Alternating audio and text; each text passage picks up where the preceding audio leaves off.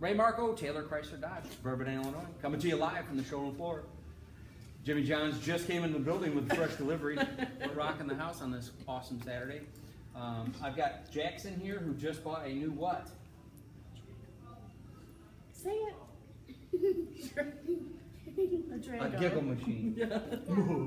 A Dodge Durango GT, all-wheel drive. What color did you get? Black. And what does it have above your head? A sunroof. What were you gonna leave absolutely without? Was not gonna be a sunroof. I knew that. I had my orders last night. It was either sunroof or get my butt whooped.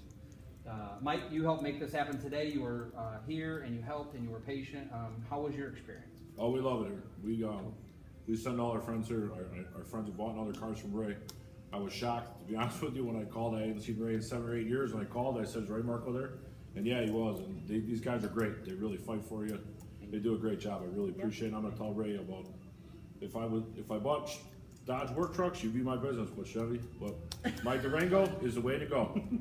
I appreciate Thank it. you for that. Thank, Thank you. Thank you. you so Thanks, much. Ray. Thank you, Michelle. Thank you. And Jackson, aka Little Dirty. Yeah. Keep it real, brother. Say thank you. Thank you so much. Aw,